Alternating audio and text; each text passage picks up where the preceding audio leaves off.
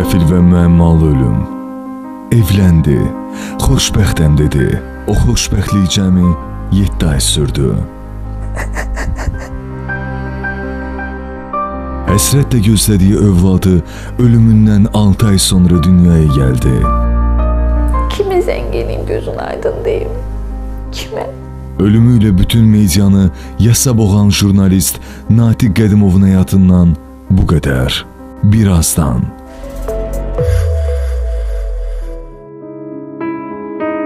Həyat sürprizlərlə doludur. Nə zaman, harda, necə öz hədiyyəsini sənə edəcək, bundan xəbərsizsən. Gəncsən, yaşlısan, heç fərqinə də varmır. Bu qədərdir. Hazırlan demədən qapını döyür. Sən istəsən də, istəməsən də bu qədərlə razılaşmalı olursan. Sorğusuz, sualsız. Etiraz etmək haqqın, imkanın olmadan. Bu qədər amansızdır bəzən həyat. Bu gün efir var. İzləyici səni tanıyır. Sabah efir var. Sən yoxsan. Tamaşaçının səni yaddaşda saxlayıb saxlamaması birbaşa sənə bağlıdır. Atdığın addımlara və gördüyün işlərə. Əslində indiki dövrdə də var olub da çox yaddan çıxan insanlar var. Unudulublar. Amma unudulmayıb. Yaddaşlarda böyük iz buraxıb. İstər tamaşaçı tərəfdən olsun, istərsə də ona rəqib olan qələm əhli tərəfindən. Həmkarlarının əmsi, onu sevən seyirci kütləsinin isə şah qanun deyil, qanun şahdır ifadəsi ilə tanıdığı Natiq Qədimovdan danışacağıq.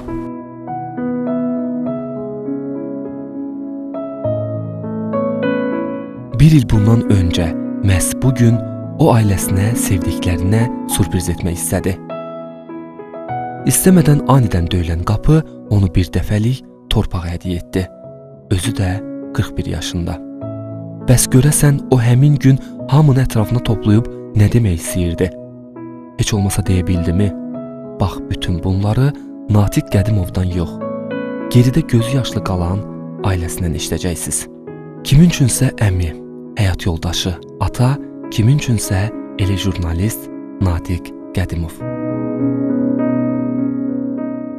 Natiq elə uşaqlıqdan çox şən, gümrah, zarafatçı, elə məktəbə gedəndən həmişə deyib gülün danışan uşaq olub. Çox mehriban. Elə onun birdən gözləri, baxışları, insana baxışı belə hamını valeh eləyirdi. Bir yerdə böyümüşük. Həmişə düzdür biz bəzi uzaqda olurduq. Onlar şəhərdə olurdular. Gəlirdik, gedirdik.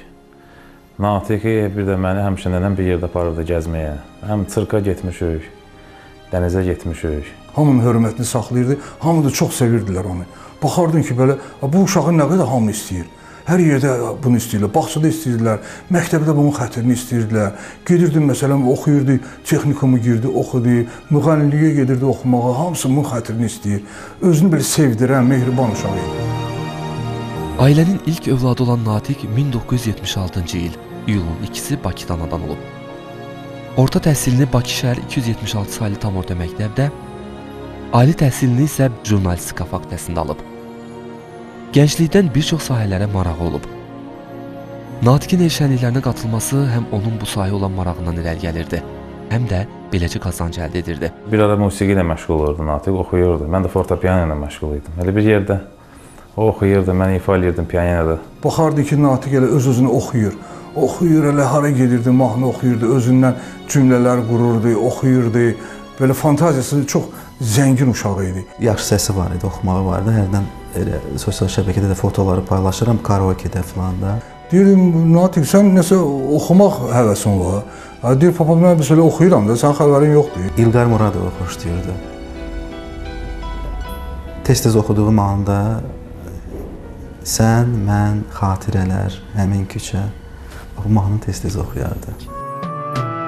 Sən, mən bir də xatirələr Həmin küçə, həmin şəhər Bilirəm ki, hara getsən Yenə məni istəyirsən Zaman gələcəkdi, o daha bir sahəni sevəcəkdi. Anidən yolunu paytaxtda fəaliyyət göstərən televiziyalardan birinə salır və gələcəyin natiqi olacaq, natiq yetişir.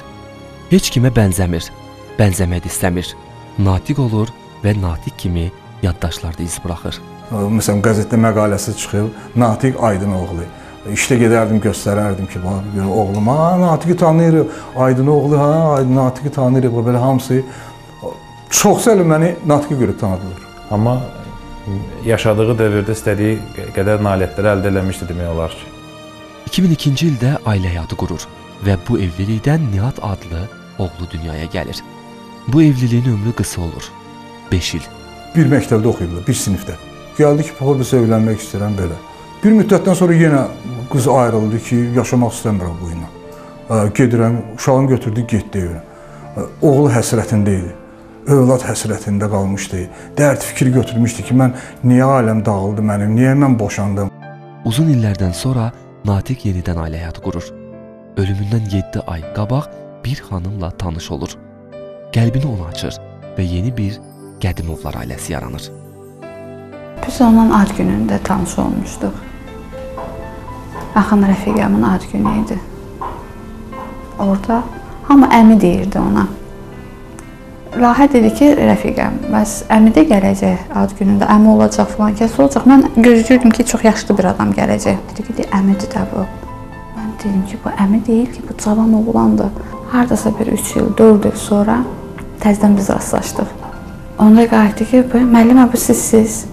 Mən səni tanımadım. Mən artıq nə bilim başqa cür göründüm onun gözünə. Əvvəllər o münasibətimiz yox idi yəqin ki, o məni başqa gözdə görə bilmirdi yəqin ki. Sən çox dəyişmisən dedi. Bir sevinirdi ki, papa deyir, mən həyata indi başlamışam yaşamağa. Bundan sonra gör necə olacaq. O həmişə deyirdi ki, mən elə bil ki, ikinci həyata başlamışam. Mən indi yaşamağa başlamışam. Yəni bu onun dediyi sözlərdir. Fikirlərimiz tuturdu. Biz eyni nöqtəyə baxırdıq. Hər şeyə eyni yanaşırdıq. Yəni mən deyim ki, mən deyirdim ki, bu iş olar, Natiq deyirdi ki, olmaz, yox. Məndən qabaq o olar deyirdi, amma içimdə artıq mən onları qərarım vermişdim. Bu bizi birləşdirirdi həmişə. Necə sevinirdi ki, mən həyatı indi yaşayıram. Mən indi bilirəm həyat nədir. Əsl həyatdır bax bu. İndi yaşayıram. Adi bir e, süfrə açanda belə onu o qədər qiymətləndirirdi ki, mən özümü çox mahir bir aşpaz hiss edirdim ki, mən çox gözəl aşpazam. Natiq çünki o qədər onu qiymətləndirir. Adi yemək ola bilər ha o. Yəni ki, hamının evində bişə bilər, amma Natiq ona elə təqdim edir. Yəni bu hər bir şeylə xoşbəxt olmağı bacaran insan idi. İkinci həyatını ikinci dəfə güclü yaşamaq istəyirdi ki, da öldü var, döndü yoxdur. Gör necə olacaq indi, gör nətər olacaq. Qismət olmadı. 7 ay yaşadıq da biz, cəmi 7 ay. Həqiqətən deyirəm 7 ayda bizim 70 ilə sığmayan xatirələrimiz var.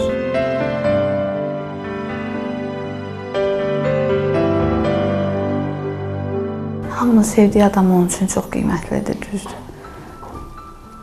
Natiq həyat dolu bir adam idi. Natiq tamam başqa cür bir insan idi. Hər insanları sevirdi, həyatı sevirdi.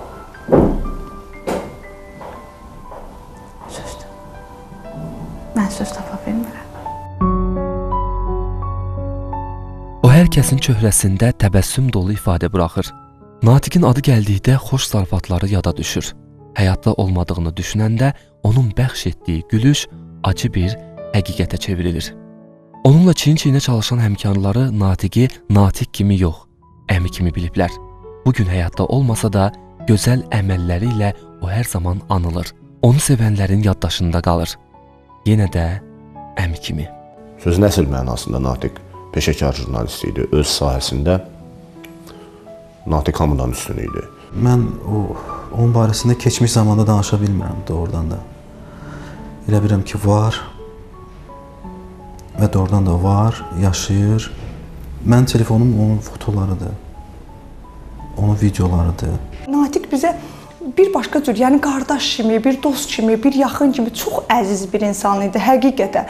Yəni hər şeydə məsləhət verirdi. Həm də niyə görə mənə e, o qədər pis təsir eləmişdi? İlk e, tanışlığım məhz Natiqlə olmuşdu. Onunla başlamışdıq. Natiqin oxu tərzi, onun oxunuş tərzi özünə məxsus idi. Şah qanun deyil, qanun şahdır.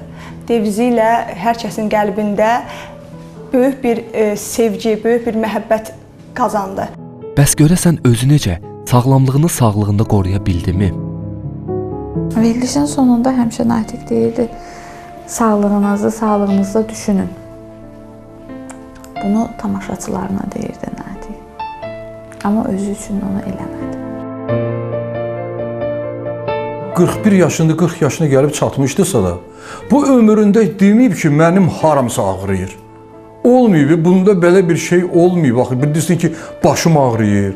Bir biz məsələn də davleyn dərmanı içirik, nəbzimizi yoxlatdırardıq, təzyiqimizi.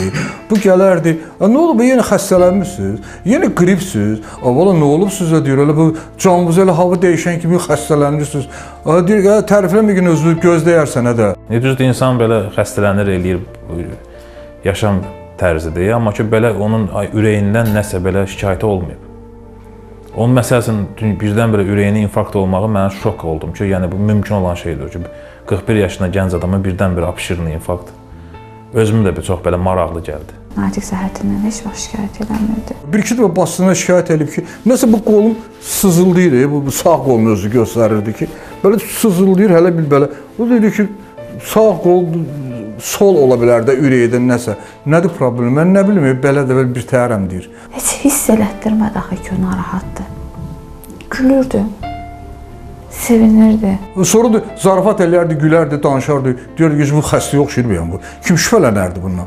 Mən onu tanıyandan ömrü boyu mən onda elə hiss eləməmişəm ki, onda ağır olsun.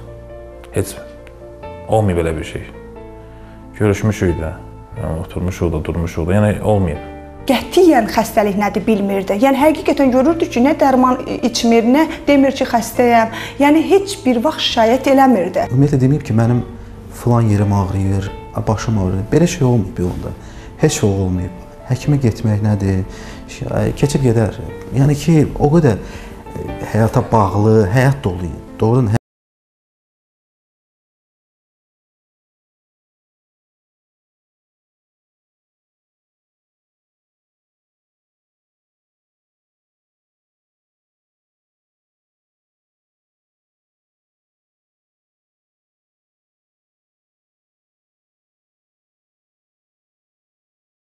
deyirdi.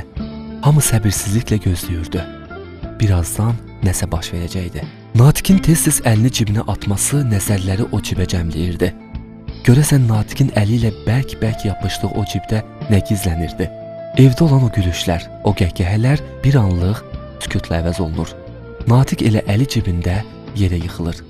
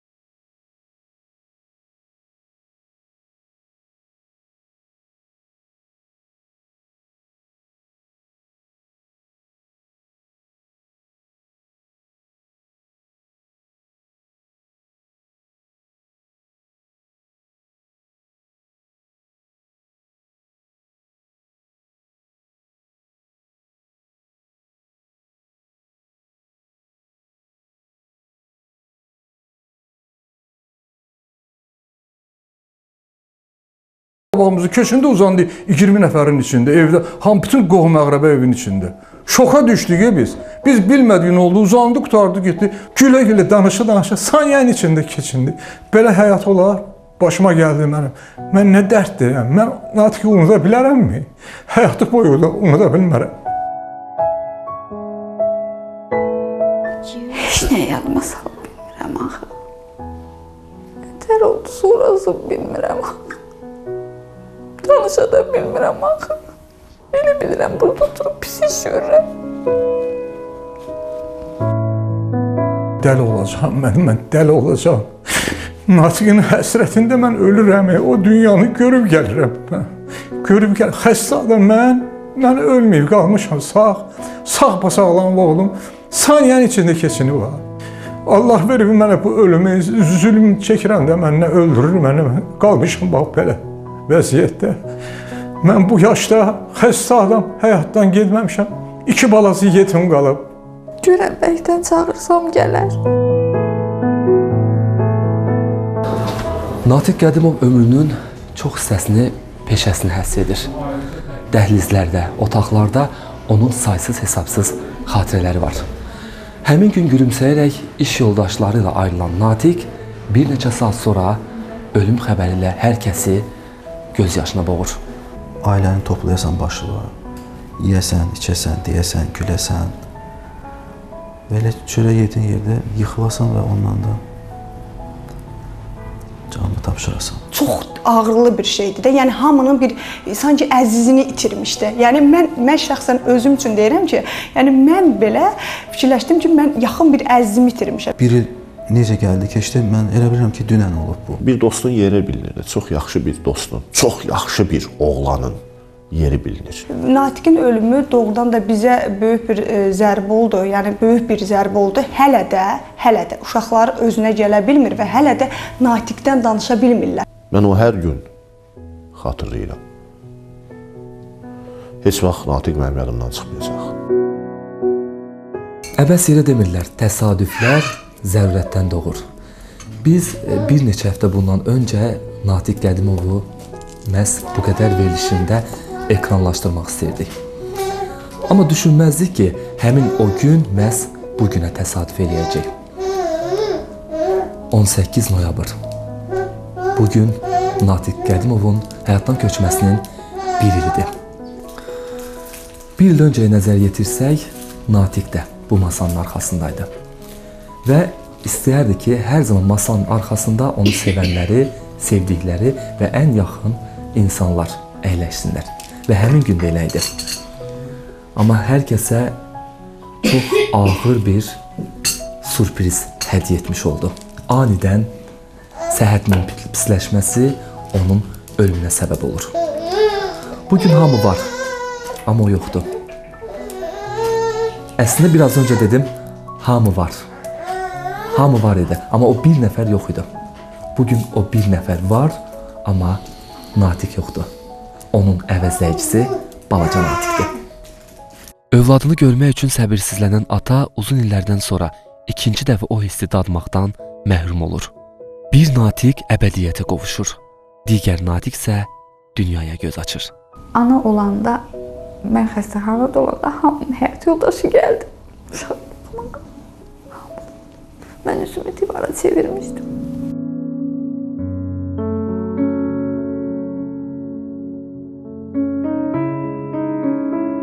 Xəstəxanada tək qalmaq çətindir. Kimin zəng eləyim gözün aydın deyim. Kimə? Gözün aydın. Gözüm kim? Ona baxanda dedi ki, Natiq yanımızdadır. Natiq getmir həyatdan. Həyatdadır Natiq. Buna baxdıqca biz onun ruhu ilə yaşayıram. O yaddan çıxartıram bir balaca hərdən bir ki, Natiq həyatda yoxdur. Nihadın qardaşı olacaq dedi. Ən birinci sözü o oldu mənə. Şükür ki, Nihad tək qalmayacaq, Nihadın qardaşı olacaq. Ona ona fikir verəndə baxırsan ki, onun gözləri, qaşları, sifəti elə bil ki, Allah məsələn bizim əlimizdən Natiqin böyük Natiqi aldı, onun əvəzini yerinə elə bir uşaq yetirdi ki, kopyası onun özünə oxşayır. Mən iki nəfərin yerinə baxıram ona.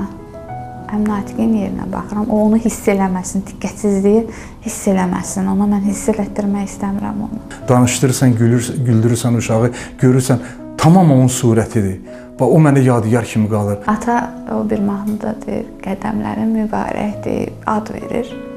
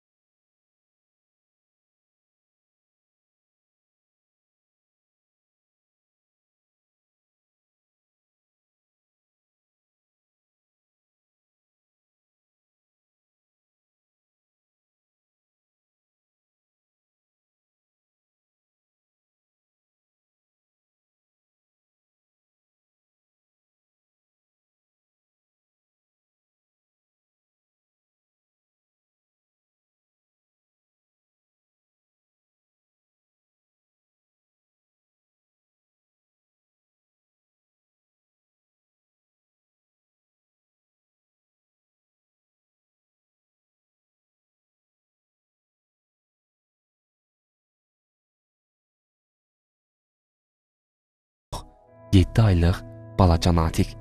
Gözlərini səndən çəkmir. Elə rəhmətlik Natiq kimi gülümsüyür.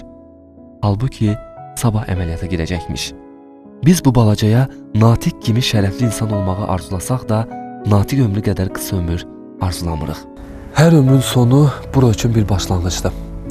Bu gün rəhmət oxuyursan, sabah sənə rəhmət oxuyurlar. Bu da həyatın ən acımasız rəftarıdır bizim üçün. Bununla barışmalıyıq. Natiqin şahının qanun qarşısında göstərdiyi acizlik. Dilimizə gətirmək istəməsək də bu ifadəni məcburuq. Natiq Qədimov üçün bu qədər. Allah sənə rəhmət eləsin.